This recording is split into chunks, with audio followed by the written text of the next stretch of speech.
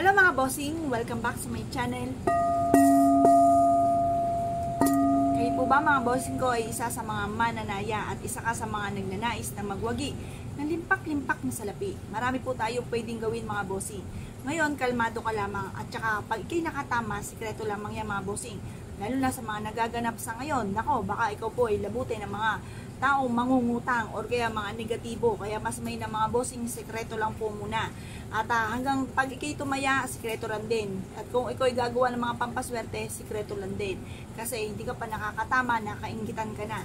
Ngayon pa mga bossing, ay mainam na subukan nyo po ito at gawin nyo ito ng pasikreto lamang at huwag nyo ipagsasabi kahit kanino.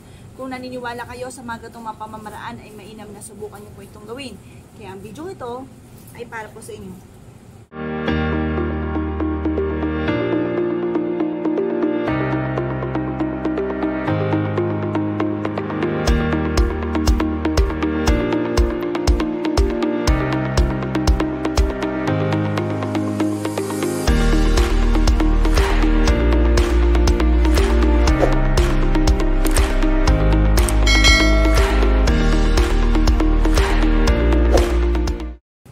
Tayo mga bossing ko ng mga iba't ibang mga pamamaraan para po tayo swerte sa ating pong buhay.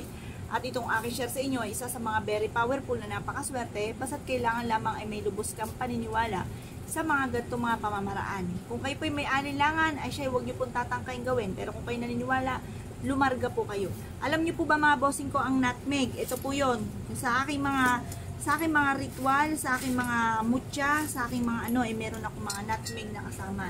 Ngayon po mga bossing, yan po yung nutmeg. Ang nutmeg na ito mga bossing ko ay abot kaya. Search nyo lamang po ito sa mga online. Marami pong ganito sa sa online. Ngayon po mga bossing, ang nutmeg natin mga bossing, isulat nyo dito ang numero na madalas yung tinatayaan. O yung inyong alagang numero, isulat nyo po anim na nutmeg ang kailangan po ninyo.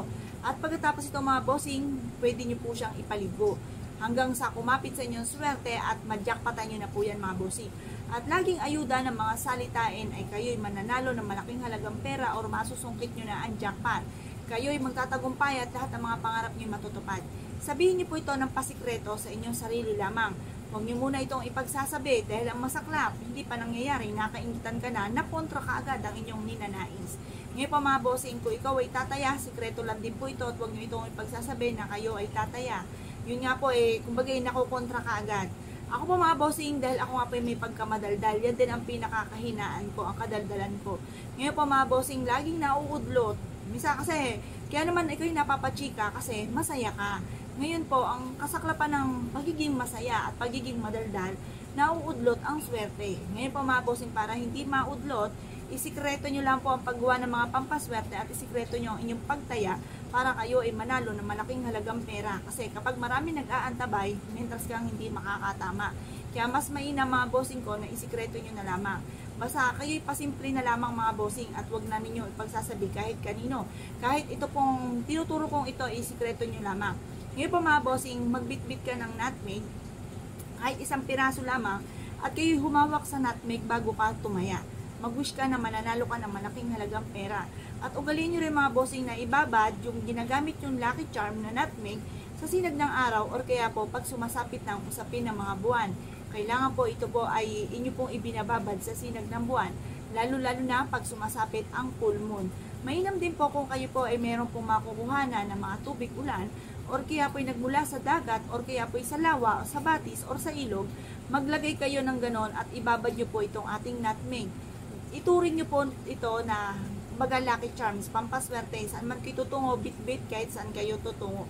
Marami na po, marami na rin po mga nagpatotoo na sa pamamagitan ng nutmeg, sila po sinuwerte, hindi lang po sa pagtaya, maging sa kanilang negosyo, or sa pang-araw-araw ng mga pangailangan, na tipo ba na hindi sila nasisimutan ng pera, at sila po mga bossing kayo nabibili ang lahat ng kanilang mga pangangailangan. Kung kayo po naniniwala sa mga gatong pamamaraan, sa mga simpleng, mga puto-buto lamang mga bossing ay maaaring maka-attract kayo ng swerte, subukan niyo po ito.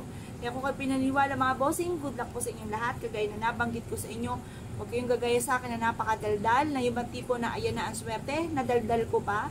Kahit malapit sa inyo, kahit sa nanay nyo, sa kapatid nyo, sa mister ninyo, kumbaga, sikreto na lang po muna at uh, sa mga anak ninyo kasi minsan hindi sila naniniwala kanya-kanyang opinion nako kontra. Kaya mas mainam mga bossing lahat ng mga bagay, ultimo yung mga pinaplano po ninyo, isikreto nyo na lang po muna na gawin. At uh, humingi kayo ng gabay sa mahal na Panginoon para hindi maudlot kung ano man ang inyo pong mga ninanais.